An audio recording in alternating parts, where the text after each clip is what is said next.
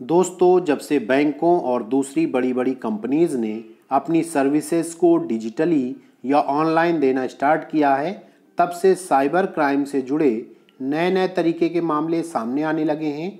Cyber criminals नए नए तरीके से लोगों के साथ फ्रॉड कर रहे हैं। ऐसे में साइबर क्रिमिनल्स को पकड़वाने, उन्हें न्यायालय से उचित दंड दिलाने तथा बैंकों और कंपनीज़ को साइबर फ्रॉड से बचाने के लिए साइबर लॉ फ़ील्ड में साइबर लॉयर या साइबर लॉ एक्सपर्ट्स की डिमांड बहुत तेज़ी से बढ़ रही है। जैसा कि आप सभी जानते हैं कि आने वाला समय कम्प्लीटली डिजिटल होने वाला है। ऐसे में साइबर लॉ फ़ील्ड का फ्यूचर ब्राइट है। इसलिए आज के वीडियो में हम आपको साइबर लॉ फ़ील्ड में कैरियर बनाने से संबंधित कंप्लीट इन्फॉर्मेशन देंगे। तो दोस्तों, ऐसी ही लॉ रिलेटेड यूजफुल वीडियोज़ का नोटिफिकेशन पाने के लिए जल्दी से वीडियो को लाइक और चैनल को सब्सक्राइब कर लीजिए। यदि वीडियो पसंद आए तो दोस्तों के साथ शेयर अवश्य कीजिए। तो चलिए आज का वीडियो स्टार्ट करते हैं। तो दोस्तों, हम जितनी तेज़ी से डिजिटल हुए हैं, उतनी ही तेज़ी से साइबर क्राइम के केसेस भी आने लगे हैं। इसलिए गवर्नमेंट और प्राइवेट कंपनीज़ साइबर क्राइम से बचने के लिए साइबर लॉ या साइबर क्राइम एक्सपर्ट्स की मदद ले रही हैं।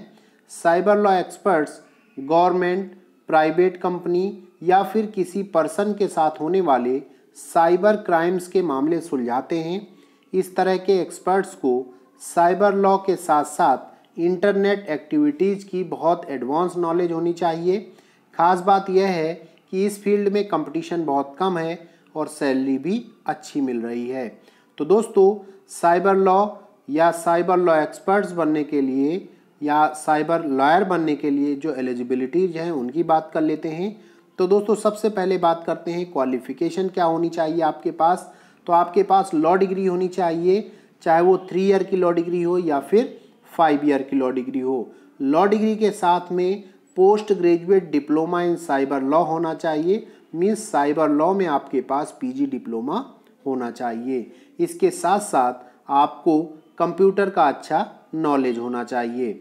अब दोस्तों, अगर बात करें कि एज लिमिट क्या डिमांड की जाती है यहाँ पर तो यहाँ पर कोई भी एज लिमिट नहीं होती है। यहाँ पर मैटर करता है आपका नॉलेज जितना अच्छा नॉलेज है, उतने ही अच्छे आप आगे बढ़ सकते हैं। अब अगर सैलरी की बात करें दोस्तों तो यहाँ पर यदि आप फ्रेशर्स हैं तो आपके लिए minimum three two four lakhs per year का पैकेज होता है।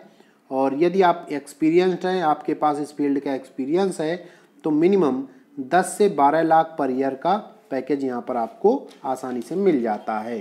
तो दोस्तों, अब बात करें अगर जॉब अपॉर्चुनिटीज़ की तो साइबर लॉ आज के जो दौर है, उसमें एक बहुत बड़ा फ़ील्ड बन गया है। साइबर लॉ फ़ील्ड के एक्सपर्ट्स की सर्विसेज़ आज बड़ी बड़ी आईटी कंपनीज़, गवर्नमेंट कंपनीज़ और लीगल फर्म्स भी लेती हैं। दोस्तों, साइबर लॉ में आप एक्सपर्ट जो स्पेशलाइजेशन होता है, उसे चूज़ कर सकते हैं। जैसे कि patent copyright privacy laws data safety laws E T C means ऐसे बहुत प्रकार के हैं जिनमें आप सिलेक्ट कर सकते हैं।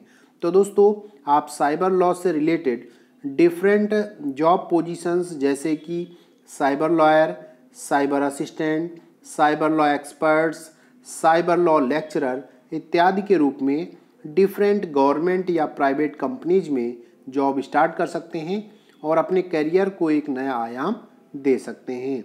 अब बात करें अगर कि सिलेक्शन प्रोसेस की, कि यहाँ पर जॉब का जो सिलेक्शन होता है, वो किस आधार पर सिलेक्शन मिलता है? तो दोस्तों, साइबर लॉ फ़ील्ड में जॉब के लिए सिलेक्शन ओनली इंटरव्यू के आधार पर होता है, क्योंकि साइबर लॉ से रिलेटेड पोस्ट के लिए अप्लीकेंट्स जो रिक्वायरमेंट है, वो बहुत अधिक नहीं होती। जो रिक्वायरमेंट मैंने आपको बताई, वही है। तो देखिए, यहाँ पर जो अप्लीकेशंस हैं, वो भी बहुत कम आती हैं। तो अप्लीकेशंस कम आती हैं, इसलिए जो है मैक्सिमम चांसेस इंटरव्यू के ही होते हैं, क्योंकि जहाँ पर अप्लीकेशंस अधिक होती हैं, वहीं पर रिटर्न एग्ज़ाम कराया जाता है। तो दोस्तों, इस फ़ील्ड में कंपटीशन अभी भी बहुत कम है, इसलिए आप अपना करियर इस फ़ील्ड में बना करके अपने फ्यूचर को बना सकते हैं। बहुत बहुत धन्यवाद।